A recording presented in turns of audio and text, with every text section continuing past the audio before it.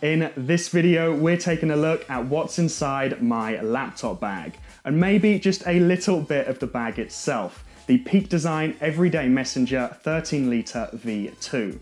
Now, during my normal routine, I use a laptop bag nearly every day. It holds all of my gear when I'm heading to the co-working space or the coffee shop, and currently it's just a really great place to keep all of my tech stuff together while we're working from home.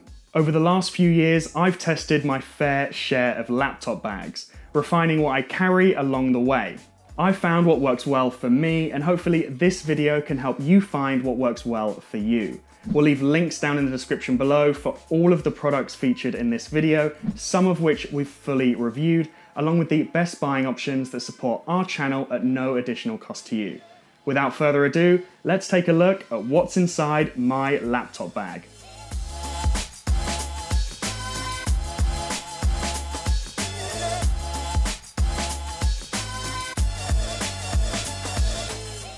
Kicking it off with the bag itself, this is the Peak Design Everyday Messenger 13 litre V2. Now as we go through this video, we will cover some of the features and just what we like about this bag, but also if you're interested in learning more, make sure to check out our full review over on the website, where you'll see more detailed photos and basically just a full review. We'll leave a link for that in the description down below. So opening the bag up, first and foremost, you can see Peak Design's mag latch system down here, which means when the bag is more full, you can have it higher at the top, and when it's less, you can basically buckle it all the way down, which is nice and expands the bag a little bit. And as you can see, mag comes from magnetic, so it will basically magnetically lock onto the front. And we've had good experiences with this throughout the line. So opening it up, let's take a little look, as you can see there, and maybe this camera's better. You can see everything we've got in there, plus some other little pockets. And I suppose there's no better place to start than with the laptop itself. So we'll take it out here, and this, there's just a laptop sleeve at the back, basically, which is always a good place to have a laptop sleeve. This is the MacBook Pro 15 inch 2019 model. It's the USB-C, as you can see here, um, the one just before they brought out their latest 16 inch. Now, I must note on this bag, it's actually built for a 13 inch laptop, so popping a 15 inch is a little bit sneaky.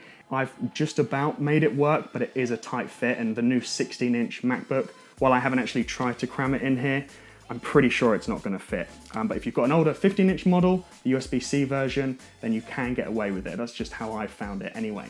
Now, obviously, this is an Apple MacBook. I've had great experiences with them. However, up until think a year and a half ago, I was actually using a Dell XPS 15 that I also liked, had similar specs, but I found moving over to an iPhone with AirPods and when I'm editing videos, I've just found an Apple MacBook more reliable. Um, I've never had it crash on me once, which is quite amazing, whereas the Dell XPS crashed a few times. However, if you like Windows laptops, then I would recommend the Dell XPS, and there's loads of other laptops out there as well. Not everyone's a massive fan of Apple, we have to realize that um, and that's fair enough.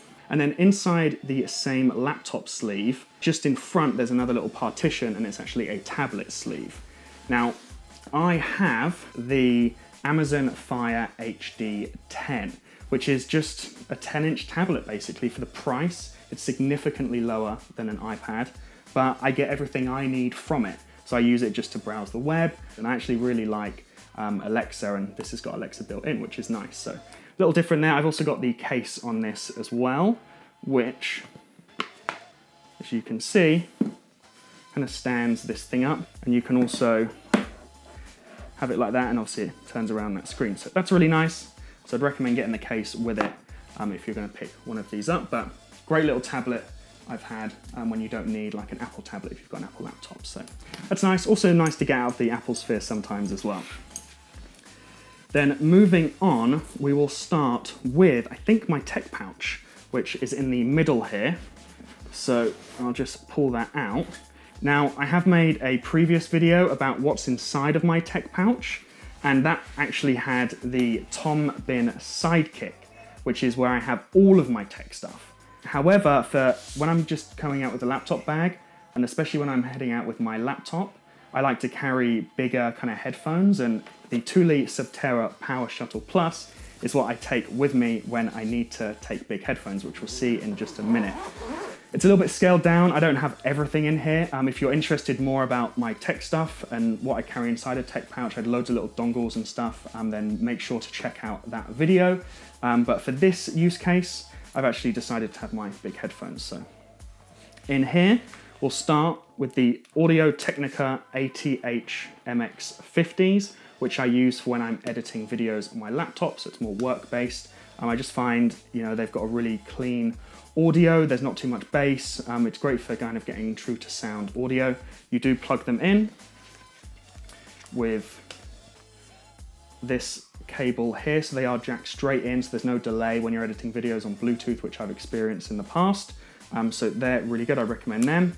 Then next up, I obviously have to charge my laptop, and this is the just the Apple MacBook power brick you get with your Apple MacBook Pro.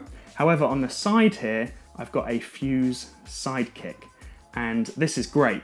You just wrap it up, locks into the side there, being a great little gadget that I've been able to pop on. Then at the back here, I have my SanDisk um, Extreme SSD here. Um, now, we do use cloud, we use Dropbox and stuff like that, but sometimes it's just good to have, you know, hard storage basically, and it's got this USB-C here. And we're slowly getting to just USB-C, so that's really great. Hopefully that continues to move that way. But yeah, nice SSD there. And in this little pouch, as you can see here, I have got the Apple 18 watt fast charger and the USB-C to lightning cable here. So you can see those two in that camera. This is the UK plug, which flips out like that, which I really like. The um, USA one is a little bit different, tiny little bit smaller as well. Um, but I have this and this charges my phone and my kind of Bluetooth headphones that we'll all get onto in just a little bit. Um, and also I don't even need this plug. I can plug this directly into my MacBook as well. So that's a really great little cable. Then finally, I've just got this USB-C hub here, which allows me to plug it into my laptop, USB-C, and it's just got um, you know, some normal USBs, HDMI, and an Ethernet. Ethernet is really quite important when you're transferring large files. So I've got that. I don't need to use it, but it's still nice to have just in case um, for the time being. But as I said, slowly moving to all USB-C, which will be great when that's fully implemented. And there we go.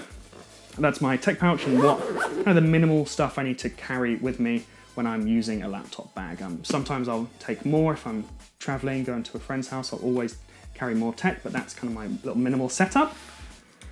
Now I'll just throw that here. Then moving on, we have a Yeti 18 ounce Rambler bottle. As you can see here, this has got the straw cap. Um, when you're popping a water bottle inside of your laptop bag with your laptop in, you wanna make sure it's a really solid water bottle. And we've had great experiences with Yeti in the past and we've reviewed, I think, this exact bottle, although with a different cap, um, and they keep your drinks really cold or your hot drinks really hot. And yeah, really digging these bottles overall. They are a little bit heavier, uh, but I kind of see the benefit. I do like them. Then finally, inside the main compartment, we have the Wool and Prince Travel Collection Zip Hoodie, which if I can find the top here, it's a little bit screwed up because I had it in my bag. Um, but there we go. This is actually a prototype version. So as you can see, it's got the um, kind of teal bar in here, which I don't believe the final version had. I just had this when we were testing it out and giving our feedback. I'm still wearing this really solid merino wool travel zip hoodie. It's always nice, you know, if you are heading out, just to have something in your bag, just in case it gets cold or if it rains, this has got a hood. And that was actually done in collaboration with Wool and Prince from Pack Hacker. So really excited about that product. We do have a full video showing the whole collection, which we'll link as well. Then I will just mention the FlexFold dividers, uh, which is kind of a key bit of the Peak Design Everyday line, and it's probably easier to see in this camera here. And you can fold these down, basically so you can hold a camera and separate bits out. I just have two separated here, so I have my you know tech pouch in the middle. In fact, I will just take one of them out and we can see exactly. So there you go.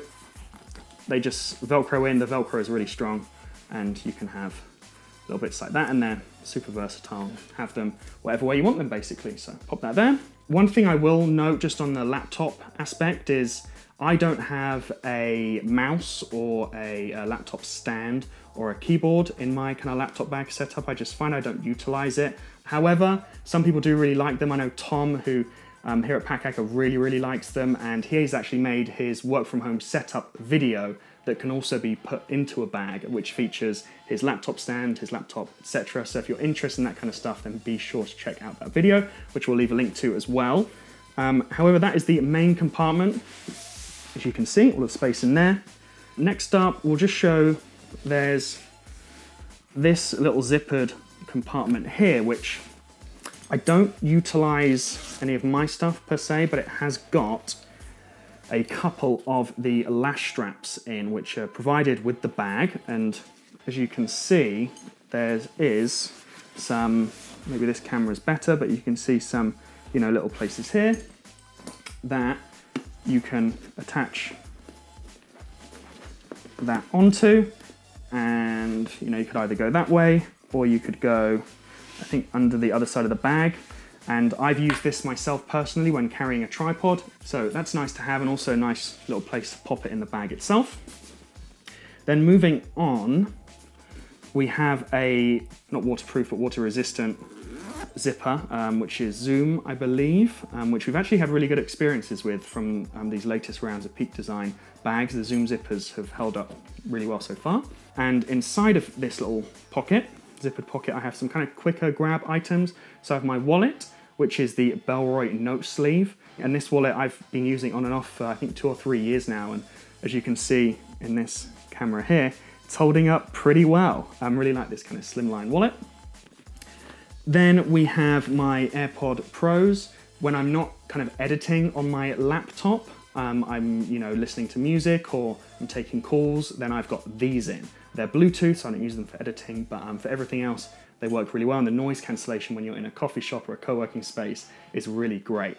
Um, I do have this little silicone case on it, so you know that's the AirPod Pros themselves. We've got the silicone case, which I've mentioned before in a previous video.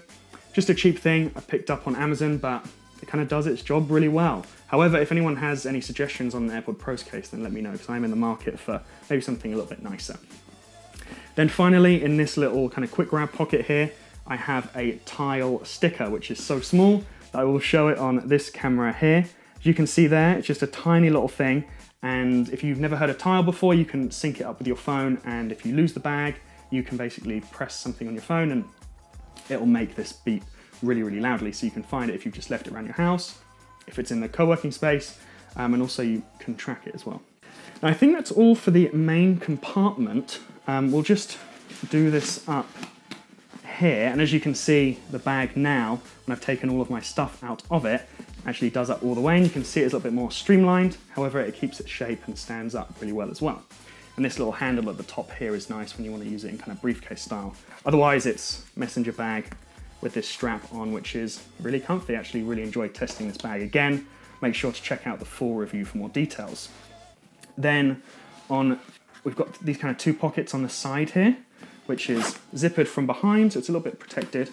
And in the first one, on the right, I've just got my phone. Now, this is actually Rebecca's phone. This is just the iPhone 11, um, and that's because I'm using it as a little prop because I'm filming on my iPhone 11 Pro Max right now, which is what you can see me on.